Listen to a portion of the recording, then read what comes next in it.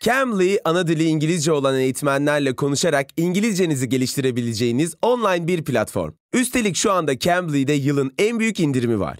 12 aylık tüm paketlerde tam %60 indirimden yararlanmak için Trend Topic kodunu kullanın, İngilizce konuşmaya başlayın. Bizce doğru olan etikette yazanları değiştirip adına inovasyon demek yerine insanların gerçekten ihtiyacı olan ürünleri doğru şekilde üretmek. Hayatındaki gereksiz tüketimi azaltma konusunda ciddi misin? O zaman tak.com.tr'ye tıkla ve kişisel bakımını sadeleştirerek başla. Herkese merhaba. Biliyorsunuz Trend Topi'yi Podbi Medya ile beraber hazırlıyoruz.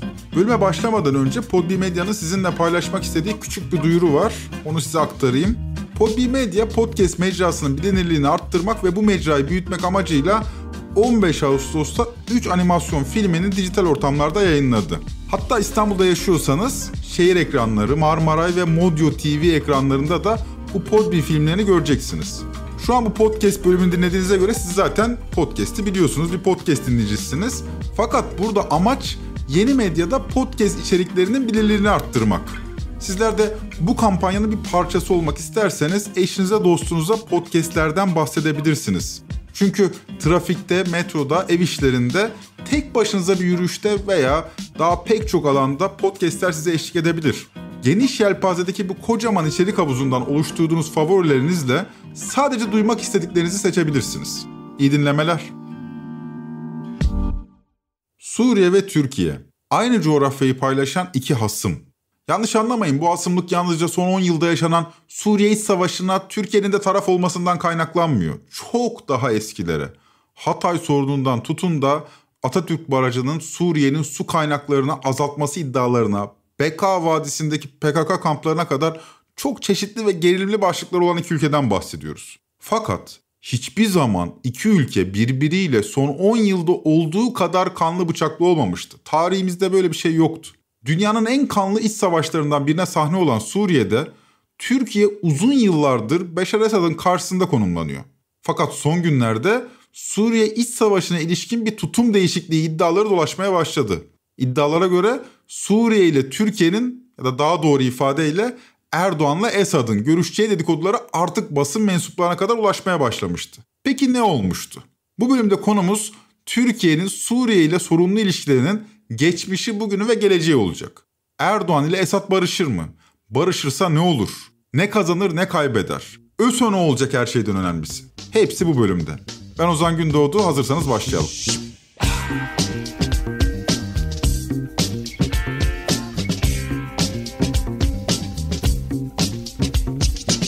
Aslında Türkiye'nin Suriye gündemi bundan 3 ay kadar önce 23 Mayıs'ta kabine toplantısı sonrasında Erdoğan'ın Suriye'ye 5. kara operasyonunu gerçekleştireceklerini söylemesiyle ısındı. Güney sınırlarımız boyunca 30 kilometre derinliğinde güvenli bölgeler oluşturmak için başlattığımız çalışmaların eksik kalan kısımlarıyla ilgili yeni adımları da yakından atmaya başlıyoruz. Ülkemize ve güvenli bölgelerimize sık sık yapılan saldırıların, tacizlerin, tuzakların merkezi konumundaki alanlar harekat önceliğimizin başında yer almaktadır. Türk Silahlı Kuvvetlerimiz, istihbaratımız, emniyet güçlerimiz hazırlıklarını tamamlar tamamlamaz İnşallah bu operasyonlar başlayacaktır. Aradan aylar geçti, operasyon başlamadı. Bu esnada bölgenin etkin güçleri Rusya ve İran'la üç kez bir araya gelen Erdoğan bu ülkelerden beklediği yanıtı alamadı. Operasyona Rusya'da, İran'da karşı çıkıyordu. ABD'den de operasyona karşı açıklamalar geldi. Fakat laf ağızdan bir kere çıkmıştı. Suriye operasyonunu buna rağmen buzdolabına kaldırıldı. Aradan aylar geçti. 5 Ağustos'ta Erdoğan ve Putin Soçi'de bir araya geldi. Ekonomiden Ukrayna-Rusya savaşına kadar pek çok başlığın ele alındığı zirvede elbette Suriye'de konuşuldu. Ne konuşulduğunu Erdoğan dönüş yolunda uçağına aldığı gazetecilere anlattı. Buna göre Erdoğan Putin'e Suriye deyince Putin bunları Esad'la görüşün diyordu. Yani Putin Esad ile Erdoğan'ı görüştürmek istiyordu. Bu aynı zamanda Türkiye'nin meşru bir güç olarak Esad'ı tanıması anlamına geliyordu ki bu da Erdoğan için 11 yıllık Suriye politikasının iflası anlamına gelecekti. Erdoğan'ın tam olarak ifadesi şöyle. Putin'in mümkün olduğunca bunları rejimle birlikte çözme yolunu tercih ederseniz çok daha isabetli olur gibi bir yaklaşımı var. Biz de diyoruz ki şu anda bizim istihbarat örgütümüz Suriye istihbaratıyla zaten bu konuları yürütüyor. Ama bütün mesele netice almak. Eğer istihbaratımız Suriye istihbaratıyla bu çalışmayı yürütürken buna rağmen hala orada terör örgütleri fellik fellik at oynatıyorsa bu konuda bize destek vermeniz gerekiyor diyoruz. Her zamankinden farklı bir açıklamaydı Erdoğan'ınki. Aslında Suriye politikası iflas etmişti ama bunu kabullenmek siyaseten oldukça zordu. Putin'in Erdoğan'a Esad'la görüş demesi iktidar medyası aracılığıyla alıştıra alıştıra sunuldu. Ardından bir Türkiye gazetesi haberiyle uyandık. 9 Ağustos'ta yayınlanan habere göre bir körfez ülkesi ve Afrika'daki bir Müslüman ülkenin ara buluculuğunda bir barış komisyonu kurulacak ve bu komisyonda Türkiye ve Suriye'den yetkililer bir masa etrafında bir araya gelecek. Hatta yakın zamanda Erdoğan ile Esad telefon düzeyinde görüşecek. Bu bağlamda Suriyeli sığınmacıların da geri gönderileceği söyleniyor. Haberin başlığı ise Suriye'de ateşi söndürecek adım. Bu Suriye'ye harekat konusuna döneceğim. Çünkü bugün Türkiye Gazetesi'nin manşetindeki haber Yılmaz Bilgen imzalı Suriye Barış Komisyonu diyor ve sahada terör örgütünü bitirecek hamleler yapan Türkiye masada da geri dönüşün zeminini oluşturmaya çalışıyor ve yakın bir zamanda Erdoğan-Esad görüşmesinin telefon düzeyinde gerçekleşebileceğini iddia ediyor. İktidar medyasından sızdırılan bu haberi kimi gazeteciler ciddiye aldı, kimileri almadı. Ama bu haberin yayınlanmasından sadece 3 gün sonra Dışişleri Bakanı Mevlüt Çavuşoğlu'ndan çarpıcı bir çıkış geldi. 13. Büyükelçiler Konferansı'nın sonunda bir basın toplantısı yapan Çavuşoğlu konuşmasında Suriye'deki muhalefetle rejimi barıştırmamız lazım dedi ve bu tüm dedikodulara doğruluk payesi vermiş oldu. Açıklama bomba etkisi yarattı. Ve muhalefetle iktidarı, e, rejimi Suriye'deki rejimi bizim bir şekilde anlaştırmamız lazım. Aksi takdirde kalıcı bir barış olmaz. Şimdi basın toplantısı bu konuşmayla başlayınca gazeteciler de heyecanlandı. Esad'la görüşülecek miydi? Türkiye'nin Suriye politikasına değişikliğe mi gidiliyordu? Bu sorular Çavuşoğlu'na yöneltildi. Şu anda böyle bir temas söz konusu değil. Cumhurbaşkanımız zaten o soruya cevap verdiler. Sonuçta uzun zamandır zaten Putin ve Rus yetkililer sizi rejimle görüştürelim. Esad'la Cumhurbaşkanımızı görüştürmek istediler. Cumhurbaşkanımız da istihbaratların görüşmesinin faydalı olacağını söylemişlerdi. Bir ara istihbaratlar arasında görüşmeler olmuştu geçmişte de e, biliyorsunuz hatırlayacaksınız. Daha sonra bir kesinti oldu. Şimdi tekrar başladı. Sonuçta... Liderler arası görüşme yok fakat istihbarat örgütlerinin görüşmeleri yeniden başladı diyordu Çavuşoğlu. Fakat cevabında bir bomba daha patlattı. Belgrad'daki bağlantısızlar toplantısında Suriye Dışişleri Bakanı ile ayaküstü, bu ayaküstüyü özellikle vurguluyor, ayaküstü görüştüklerini de söyledi.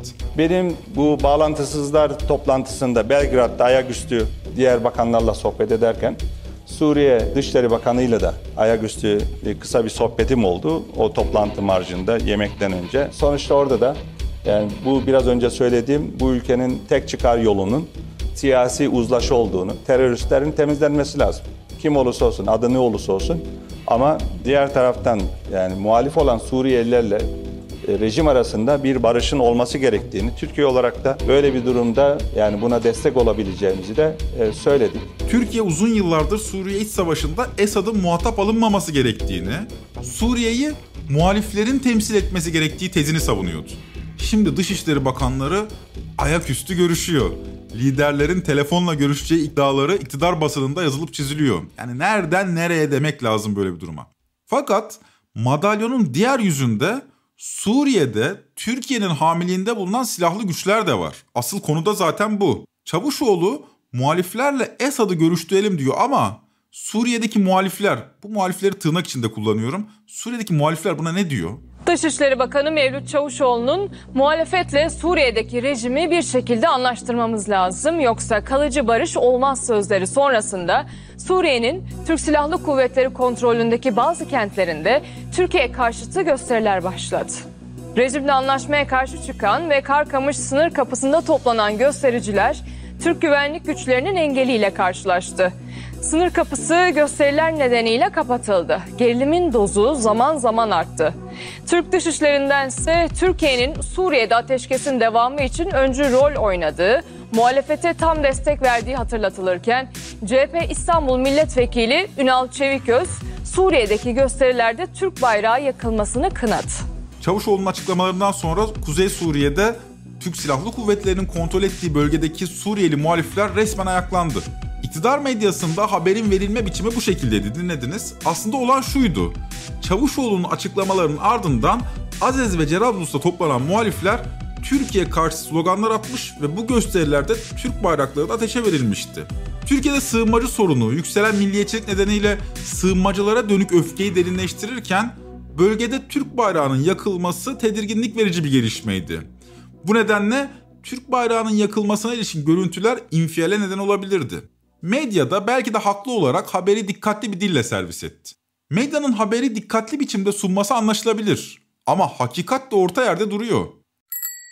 Cambly'de tamamı ana dili İngilizce eğitmenlerle birebir ya da grup derslerinde İngilizce konuşabilirsiniz. Üstelik Cambly'de tamamen sizin seçtiğiniz saat ve günlerde sıfırdan gramer öğrenebilir, aksanınız üzerine çalışabilir ve ders programlarıyla kapsamlı bir İngilizce eğitimi alabilirsiniz.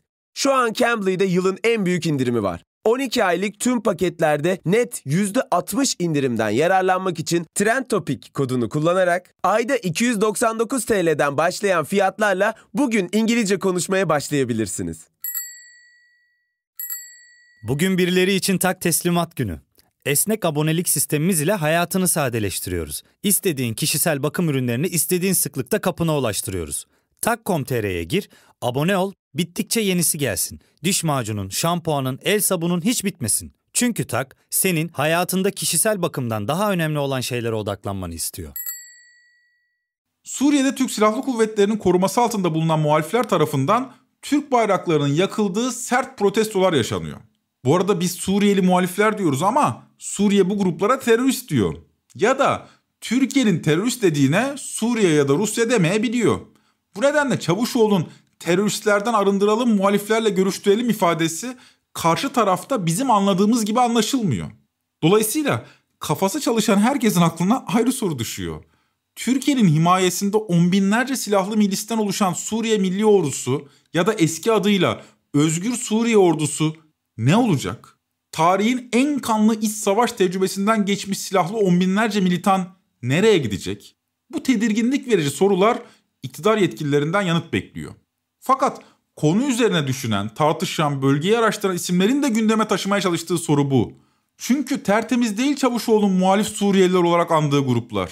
Nation Mengü'nün YouTube kanalına konuk olan, bölgeyi de yakından bilen ve gözleyen gazeteci Hediye Levent, bölgedeki savaş ağlarına dikkat çekiyor. 2011 başlarında Türkiye çok yüksek ideallerle, çok büyük hedeflerle, amaçlarla bu grupları desteklemeye başlamıştı. Öyle ki bu silahlı gruplar işte Türkiye belki burayı Türkiye'ye bağlar toprak olarak hani toprak genişletir ya da Suriye içinde kalırız ama bizi Türkiye sürekli destekler. Biz işte Türkiye'nin desteğiyle Suriye içinde üst düzey bir takım noktalara geliriz, parlamentoya gireriz vesaire gibi beklentileri de vardı. E şimdi bütün bu yıllar içinde bunlar güç kazandı para kazandı. Çok çarpık bir zenginleşme ve güç kazanımı var. Özellikle ÖSO komutanları arasında kendi aralarında da tabii mesela Facebook sayfalarında falan deli gibi paylaşıyorlar böyle çok absürt klipler falan paylaşıyorlar. Yani 4x4'lerle böyle gün batımına karşı atların eskortluğunda yürüyen komutanların çocukları falan. Çok ciddi söylüyorum yani. Bu konuya özel bir parantez açmakta fayda var. Özgür Suriye Ordusu 29 Temmuz 2011 yılında kuruluyor. Fakat bu örgütün Türkiye ile temaslanması, daha doğrusu organik ilişki kurması 2014'te beraber başlıyor. 19 Şubat 2014'te ABD ve Türkiye arasında imzalanan bir anlaşmayla EİT Donat projesi hayata geçiriliyor ve bu kapsamda 2000 ÖSO militanı Türkiye'ye getiriliyor, Kırşehir'e. Bu 2000 kişinin sayısı sonraki dönemlerde artıyor. Burada yani Kırşehir'de askeri eğitimden geçirilip modern silahlarla donatılan ÖSO'cular Suriye'ye savaşmak için geri gönderiliyor. Fakat bu savaşçı militanların hemen hepsi Sünni cihatçı milislerden oluşuyor. Bölgede güç kazanan El Nusra ve IŞİD gibi örgütleri görünce birçoğu bu örgütlere transfer oluyor. Hal böyle olunca ÖSO Türkiye'nin etkin olduğu bölgelerde TSK ile, Türkiye'nin stratejik hedefi olmadığı bölgelerde mesela Halep gibi bölgelerde El Nusra gibi Selefi örgütlerle yan yana gelebiliyor. Mesela eski Erbil Başkonsolosu Aydın Selcan 2016'da Medyaskop'ta katıldığı programda tam da bu konudan bahsediyor. Ayrı zaten geçerli olan şey şu ki ÖSO denilen silahlı topluluk Elbap tarafında bu sözünü ettiğimiz dörtgen içinde Türk Silahlı Kuvvetleri'nin desteğiyle ilerleyebiliyor. Suriye'nin kalan kısmında da El Nusra olmadan zaten hiçbir adım atması e, söz konusu olmuyor. Yani Türkiye'de Suriyeli muhalifler olarak anılan ve biraz da yumuşatılan ÖSO, Suriye'de El Nusra gibi Selefi örgütlerle yan yana gelebilen bir örgüt. Yani kime terörist demeliyiz, çizgiyi nereden çekmeliyiz soruları biraz karışık sorular. ÖSO'cuların Selefi cihatçılarla bu şekilde ilişki içinde girmesi, EİT Donat projesinde Türkiye'nin ortağı olan ABD'yi rahatsız edince ABD projeden çekiliyor. Pentagon 2015 yılında EİT Donat projesini durdurduğunu açıklıyor. New York Times'a konuşan ve ismini vermeyen bir Pentagon yetkilisi, EİT Donat projesiyle binlerce piyadenin eğitilmesinin yanlış olduğunu, projenin kapsamının sadece hava saldırılarından kaçışı kapsaması gerektiğini söylüyor. Yani dar kapsamlı bir proje olarak düşünülmüş fakat binlerce milisin eğitilip donatılmasına dönüşmüştü proje. Ürdün, Katar, Suudi Arabistan ve Birleşik Arap Emirlikleri'ndeki Eğit Donat programının iptal edildiğini açıklayan Pentagon yetkilileri programın sadece Türkiye'de sürdürüleceğini ilan etti. Pentagon yetkilisi, Türkiye'de çok daha küçük bir eğitim merkezi kurulacak ve orada çoğunlukla muhalif liderlerden oluşan küçük bir grup hava saldırılarına yol göstermek gibi operasyonel manevralar konusunda eğitilecek dedi. New York Times'a gizlilik kaydıyla konuşan bir başka üst düzey yetkili ise binlerce piyadenin eğitilmesi doğru model değildi. Sanırım bu çok açık ortaya çıktı dedi. Bu çok açık ortaya çıkmıştı ama Türkiye silahlı militanları eğitmeye, para vermeye ve silahlandırmaya devam etti. 2016'dan itibaren konu iç kamuoyunda PKK ile mücadele başlığıyla sunulmaya başlandı. ÖSO başta Esad'a karşı mücadele eden bir örgüttü fakat sonradan PYD ile mücadeleye de girişmişti. Böylece Türkiye kamuoyuna ÖSO'cu komutanlar kahraman gibi anlatılmaya başlandı. Onlar PKK ile mücadele eden Mehmetçiğin yoldaşları olarak resmedildi. Erdoğan, ÖSO komutanı Yasir Abdurrahim'den Nisan 2018'de grup toplantısında bir kahraman gibi şöyle bahsediyor. Ameliyatla karnını aldılar dedi. Nasıl bir şey dedim ya. Bir açın bakayım bir göreyim. Ve açtılar. Hakikaten tamamıyla bu kısım operasyonlar. Geçmiş tabi sadece o değil. Omuzdan, kalçadan, her taraftan mermiler almış. Fakat sevgili kardeşlerim durmamış. Ve daha sonra tekrar cepheye gitmiş ve şu anda yine cephede. Öyle dedi böyle oldu kısımlarını geçelim. Belli ki biz bir halt yedik. Murat Yetkin'e göre Türkiye'nin Suriye politikasının dikişleri patlamış durumda. Ama bizi ilgilendiren bir şey var. O da şu. On binlerce olduğu söylenen ÖSO milisleri Türkiye'nin kontrolünden çıkarsa ki çıkmaya başlamış görünüyor. Ellerindeki silahları Türkiye'ye çevirebilirler mi? Normal şartlarda bundan 7-8 yıl önce belki bu soruya başka türlü cevap verebilirdik ama bugün Hediye Levent'in uyarısı önem kazanıyor. Yıllardır büyük beklentilerle cephede yer alan, büyük idealleri olmayan, marş karşılığı savaşan, büyük ölçüde radikal İslamcı on binlerce erkekten bahsediyoruz. İçlerinden savaş ağları çıkıyor. Bu adamlar 7-8 yıldır öyle ya da böyle ölüyor ve öldürüyor. Bu esnada giderek yozlaşıyorlar. Bir kısmı zenginleşiyor. Ve bunların maaşını da Türkiye veriyor. Peki böyle bir savaş gücüyle nasıl bir hukuki zeminde ilişki kuruluyor? Bu soru muallak. Hediye Levent de bu sorunun üzerine düşünüyor. Birincisi bence Türkiye açısından en elzem olan ve kamuoyunun aslında yıllar önce tartışmaya başlaması gereken noktadan konuya girmek istiyorum. Türkiye ile ÖSO arasındaki ilişkinin kanuni dayanağı nedir? TSK hangi hukuki zemine dayanarak bu gruplara sürekli eğitim veriyor? Türkiye bunlara nasıl, hangi şartlarda, hangi çerçevede silah sağlıyor? Bunlara nasıl, hangi şartlarda, hangi çerçevede, hangi kanuni uygulamalara göre daha doğrusu maaş ödeniyor? Bütün bunlar hala çok belirsiz. Buna ek aslında birkaç tane soru daha var. Türkiye kamuoyunu çok ilgilendiren özellikle de memleketteki ekonomik gidişat düşünüldüğünde şimdiye kadar bu gruplara ne kadar para aktarıldı? Yani sadece mesela Libya'ya gidenlerin maaşlarının 500 ile 2500 dolar arasında olduğunu biliyoruz ki Libya'da da Suriye İnsan Hakları Gözlem Evi'nin son raporlarından birinde vardı. 8500'e yakın Suriyeli milis var Türkiye tarafından oraya gönderilen. Evet soruyu tekrarlamakta fayda var. ÖSO militanlarıyla hangi hukuki zeminde ilişki kuruluyor ve bu zamana kadar onlara ne kadar para aktarıldı? Ben soruyu biraz daha derinleştireyim. Türkiye'de 10 ay içinde bir genel seçim olacak. ÖSO militanları da bu seçimi yakından takip ediyor. Zira Erdoğan'ın kaybetmesi durumunda yeni iktidarın en büyük sorunlarından biri ÖSO olacak. Öte yandan finansmanın nasıl karşılandığı resmi kaynaklarca bilinmiyor. Yani bütçe harcamalarında ÖSO'ya şu kadar kalem aktarıldı diye bir şey söylenmiyor. Hali hazırda örtülü ödenek harcamaları da bu tip bir orduyu donatacak kadar büyük değil. Gelecek iktidar ÖSO ile ilişki kurmaya devam edecek mi? Etmeyecekse bunca silahlı militan ne yapacak? Silahlarını bırakıp Suriye'de çiftçilik mi yapacaklar? Dahası bu ÖSO'cuların bir kısmı Türkiye tarafından Libya'ya taşındı. Onlar ne yapacak? Yani büyük bir kabusla karşı karşıyayız. İşin bir de ideolojik yönü var. Görünen o ki 2010'da Tunus'ta başlayan, daha sonra Cezayir, Ürdün ve Mısır'a sıçrayan Arap Baharı ile birlikte Türkiye yeni Osmanlıcı rüyalar alemine daldı. Fakat bu rüyalar Suriye'de kabusa dönüştü. Suriye bizim iç meselemizdir çizgisi Çavuşoğlu'nun son çıkışlarıyla birlikte suya düşmüş görünüyor. Biz Suriye konusunu bir dış mesele olarak, bir dış sorun olarak görmüyoruz. Suriye meselesi bizim bir iç meselemizdir. Osmanlıcılığın iflası Türkiye açısından önemli bir gelişme. Türkiye artık bu bakış açısıyla Suriye'de iç meselemiz Libya'da iç meselemiz diyerek oyun kurucu olamıyor. Osmanlıcılık dış politikada değil ama içeride hamasi milliyetçiliğin motoruna dönüşmüş durumda.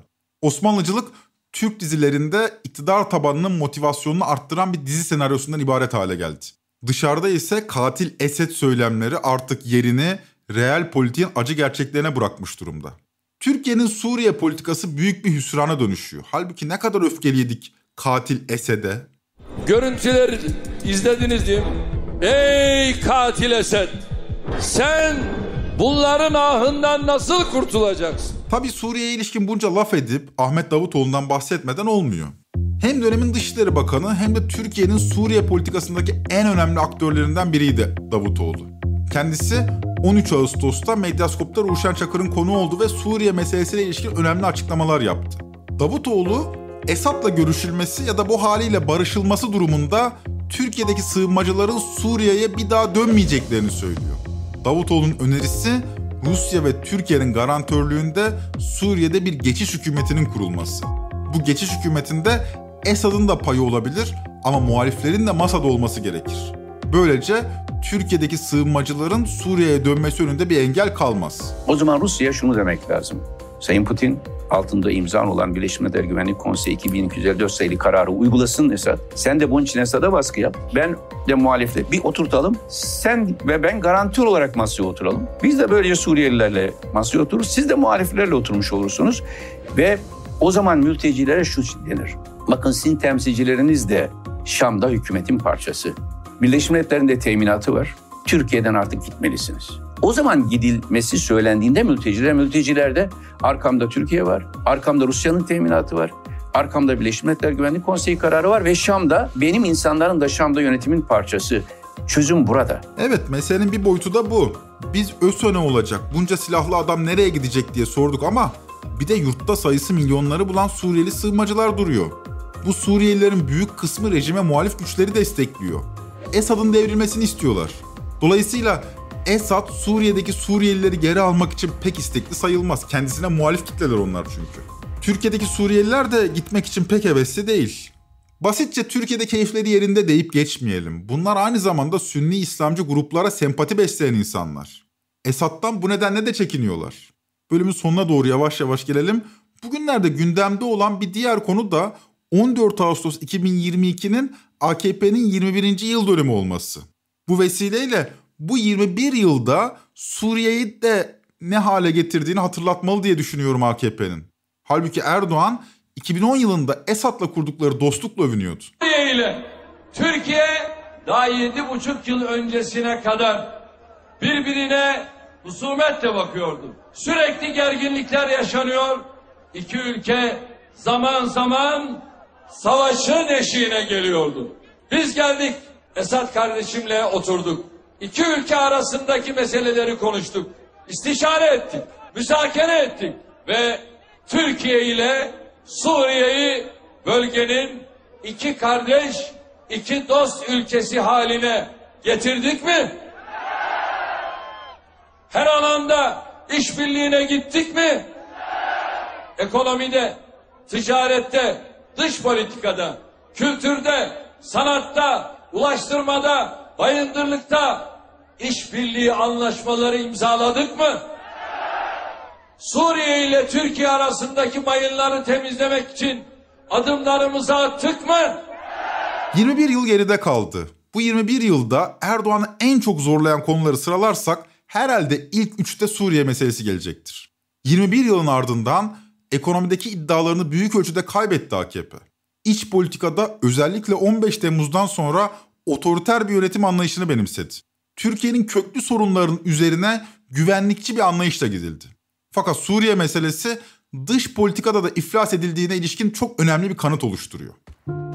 Bunca konuyu soğukkanlı konuşmayı da kendi adıma rahatsız edici bulduğumu söylemeliyim.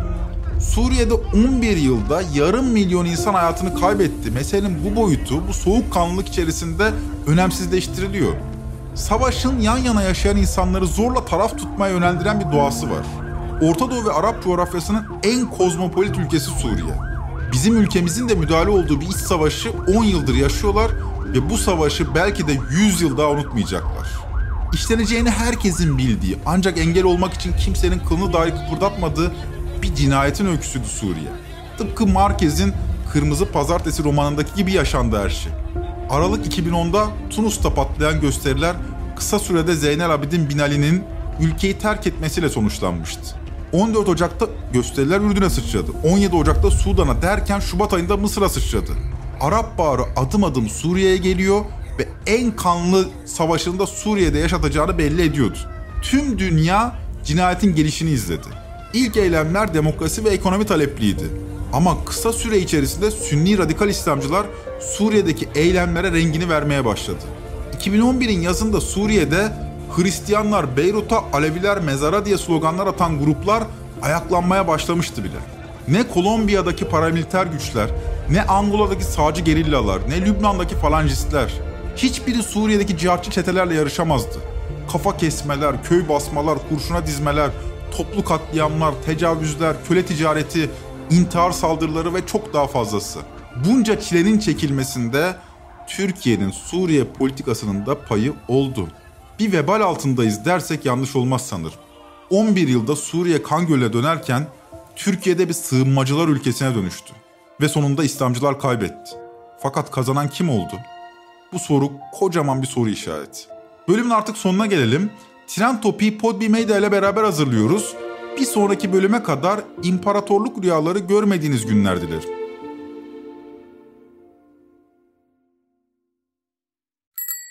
Cambly ve Cambly Kids'te 12 aylık tüm ürünlerde geçerli net %60 indirimi kaçırmayın. Ayda 299 TL'den başlayan fiyatlarla yılın en büyük indiriminden tükenmeden yararlanmak için Trend Topic kodunu kullanmayı unutmayın.